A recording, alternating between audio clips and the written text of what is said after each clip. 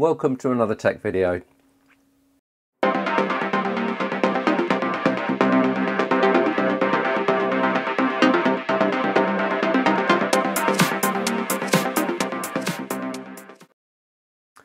So today I'm going to be having a quick look inside uh, a Netgear 48 port switch. Uh, the reason, there's, there's no other reason from just being nosy and making sure that it's going to be okay. So we're going to be um, installing this on a client site. So we want to make sure that uh, uh it's not too dusty inside uh, because it's come out from a previous site.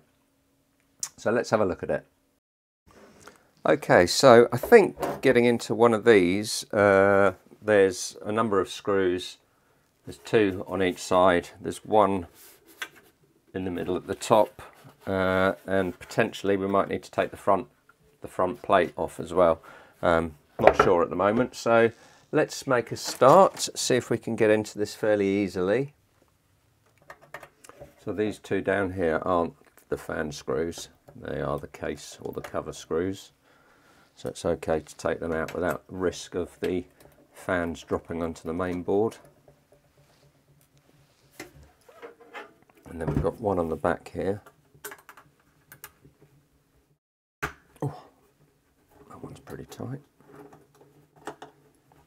Okay.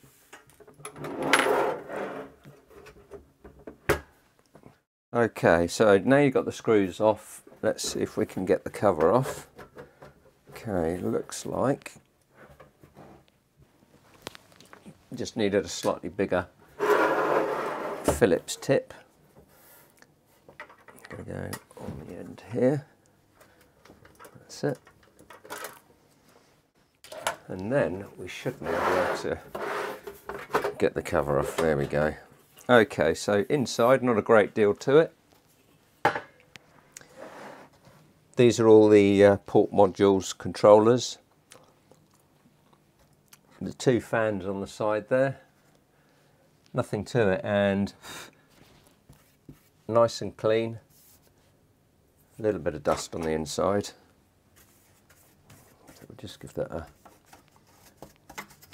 a little, little dust off. But on the whole, that's pretty good condition. So yeah, we just need to pop that back together and we can then reuse that at a client site. The power supply all looks good here. No concerns on that at all. And then now we've got it all back together, I think the first thing that we should do is get it connected. So we're going to plug it in to our network. We're going to stick that in port whatever, doesn't really matter. We'll put it in port 1.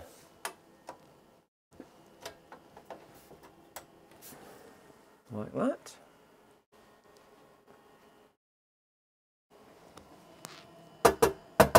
Fans are a little noisy, but once it's started up, they should quieten down.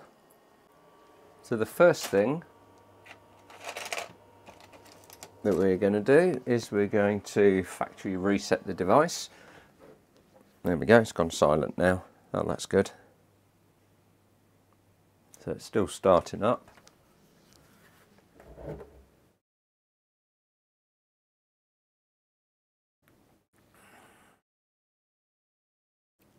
Still not ready yet.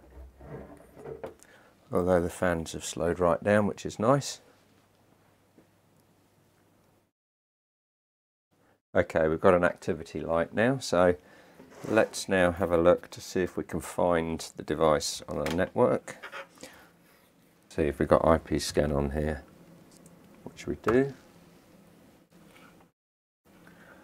Okay, so let's just have a quick sweep of the network. Okay, I can see a few devices that it might be.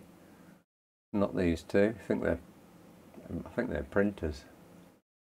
Let's try it, shall we? 10.37. Okay, yep, here's our Netgear switch. So I don't know what the password is for this, I don't think. Oh, Yes, I do. We're in. Okay. So I think this is running bulk standard configuration at the moment, which is what we want. Dynamic IP address, perfect. So that means that we'll be able to access it, access it, access it once it's on the client network. Perfect. So this this is uh, ready to go in basically. So yep, we can finish that off now. So that, that's all there was to that video basically. So the next thing is we're going to uh, stick some brackets on it, take it to our client site and then install it. So this will replace a, a 16 port switch that's there at the moment. But they've just expanded into another office so um, they're going to have a load more devices connecting. So um, this will suit them down to the ground. So if you found that video useful, give us a thumbs up. Don't forget to subscribe to the channel. Just want to say thank you for watching and we'll see you in the next one.